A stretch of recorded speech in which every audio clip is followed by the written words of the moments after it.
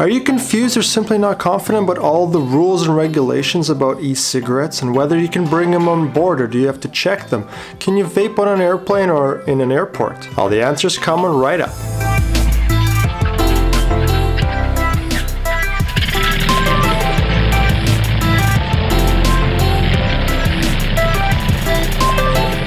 Welcome guys to Aviator Inspirations. On this channel I help you with tips and tricks to go further and faster in aviation.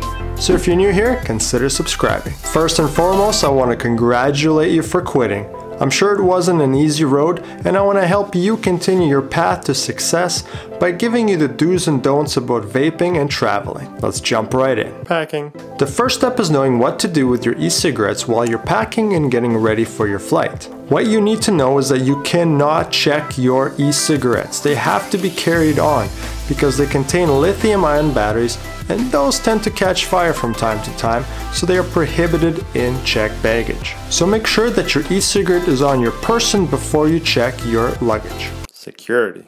The second thing to remember when you're going through airport security is how much e-liquid you're bringing along with you. Remember that the liquid carry-on limit of 3.4 ounces still applies, so make sure you check your e-liquid containers before you go through airport security. Good job, you've made it through airport security. Now what do you need to know about vaping inside airports?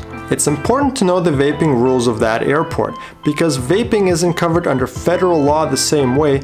Each airport will have their own rules and regulations about where and where you cannot vape. To keep it simple and less confusing, most airports treat vaping just like smoking, so if you follow the smoking signs, you won't break any regulations. Boarding.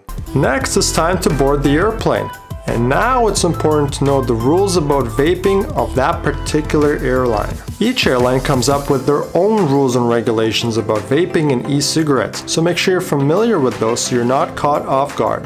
The main rules, however, are consistent across all the airlines, at least in North America, and that is that you cannot vape on an airplane, period.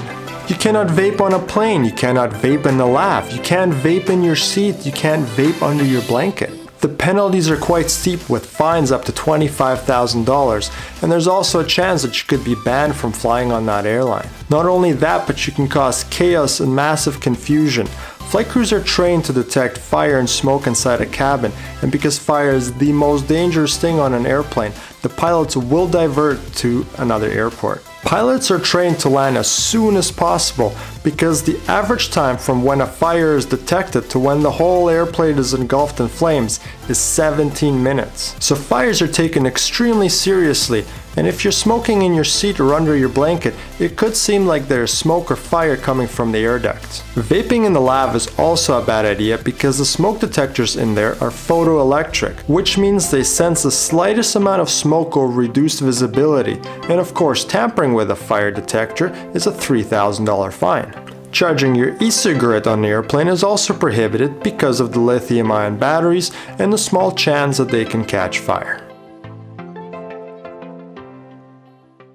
So this video is not designed to discourage you from vaping or bringing e-cigarettes on board an airplane, but to help you avoid some of the challenges and confusion when traveling. I always encourage everybody to stop smoking, and if the e-cigarette helped you quit, I hope this video has helped you in some way also.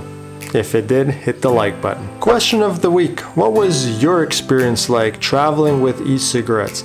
Let me know down in the comments and whether you have any other tips or suggestions. So I wish you safe and happy travels and I'll see you next week.